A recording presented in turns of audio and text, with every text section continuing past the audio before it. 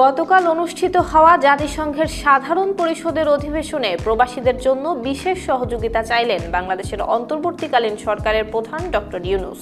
সেখানে তিনি তুলে ধরেছেন সুশৃঙ্খল এবং মর্যাদাপূর্ণ অভিবাসন নিশ্চিতের কথা। বিশ্ব সম্প্রদায়কে নতুন বাংলাদেশের সাথে নতুনভাবে সম্পৃক্ত হওয়ার আহ্বান জানিয়েছেন অন্তর্বর্তীকালীন সরকার প্রধান অধ্যাপক ইউনুস। জাতিসংঘের সাধারণ পরিষদের অধিবেশনে দেওয়া ভাষণে এ আহ্বান জানান তিনি। শুক্রবার নিউ ইয়র্ক সময় সকালে সাধারণ পরিষদের উনআশিতম অধিবেশনে সরকার প্রধান হিসেবে মোহাম্মদ ইউনুস নিজের প্রথম ভাষণ দেন।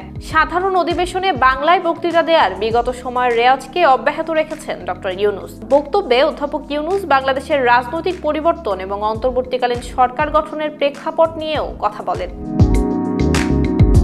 ছাত্র জনতার অভ্যুত্থান, বাংলাদেশে বিদ্যমান রাষ্ট্র কাঠামোর আমূল সংস্কারের সম্ভাবনার এক নতুন দুয়ার খুলে দিয়েছে। টেকসই সংস্কারের মধ্য দিয়ে গণতন্ত্র, সুশাসন এবং সমৃদ্ধি অর্জনের মাধ্যমে একটি ন্যায়ভিত্তিক এবং অন্তর্ভুক্তিমূলক নতুন বাংলাদেশ গড়ার আকাঙ্ক্ষা সৃষ্টি হয়েছে। গণতন্ত্রের নতুন যাত্রায় বিশ্বকে পাশে চায় বাংলাদেশ। অন্তর্বর্তীকালীন সরকারের প্রধান ডক্টর মোহাম্মদ ইউনুস বাংলাদেশের মুক্তি এবং গণতান্ত্রিক আকাঙ্ক্ষাকে বাস্তবে রূপ দিতে বিশ্ব সম্প্রদায়কে নতুনভাবে সম্পৃক্ত হওয়ার আহ্বান জানিয়েছেন। সারা বিশ্বের মানুষ এখন নিবিড়ভাবে সংযুক্ত বিশ্বে বসবাস করছেন উল্লেখ করে ডক্টর ইউনুস বলেন, সেখানে অভিবাসন এবং মানুষের অবাধ প্রবাহ এক অলঙ্ঘনীয় বাস্তবতা। বাংলাদেশি নাগরিকরা প্রতিনিয়ত বিভিন্ন দেশে অভিবাসী হিসেবে যাচ্ছেন। বিশ্বের বিভিন্ন প্রান্তে এই মুহূর্তে প্রায় দেড় কোটি প্রবাসী বাংলাদেশি রয়েছেন। সবার জন্য অভিবাসনের উপযোগিতা নিশ্চিত করতে বিশ্ব সমাজকে নিরাপদ, সুশৃঙ্খল, নিয়মিত এবং মর্যাদাপূর্ণ অভিবাসনের পথ সুগম করতে হবে।